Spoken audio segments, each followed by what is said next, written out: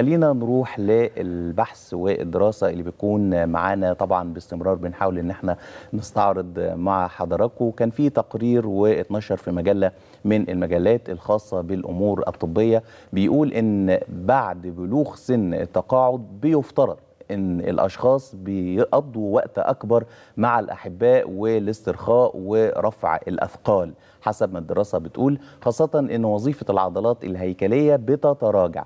ومؤلف الدراسة الرئيسي قال إن الطالب وهو طالب دكتوراه بمعهد الطب الرياضي في مستشفى بكوبنهاجن قال بإن الدنمارك أو عفوا في الدنمارك قال إن إذا مارست تمارين القوة في السن دي اللي هي ما بعد التقاعد فتستمر فوائدها لسنوات عدة. ده طبعا بهدف إن يكون في تحقق والتأكيد بإن كانت برامج تمارين القوة ممكن إنها تكون مفيدة على المدى الطويل. الباحثين أجروا تجربة لمراقبة 369 من البالغين الأصحاء المتقاعدين في سن حديثة أو يعني مؤخرا تقاعدوا مؤخرا.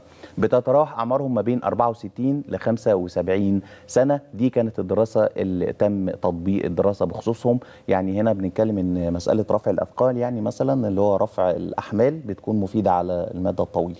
عشان يعني العضلات لأن الناس مع قلة الحركة لما م. بتكبر في السن مع قلة الحركة الكتلة العضلية عندها بتقل.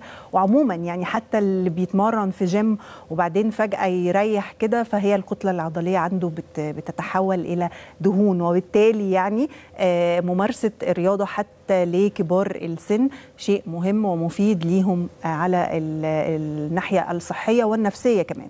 تم تعيين المشاركين في واحد من ثلاث برامج تمرين لمدة عام وقالت الدراسة إنهم أما رفعوا الأثقال ثلاث مرات اسبوعيا وقاموا بتمارين متوسطة الشدة باستخدام وزن الجسم وأشرطة المقاومة ثلاث مرات في الأسبوع أو لم يغيروا روتين تمارينهم المعتادة بحسب الدراسة قام الباحثون بقياس قوة العظام والعضلات وكذلك مستويات الدهون بالجسم في بداية التجربة وفي نهاية البرنامج الممتد لسنة.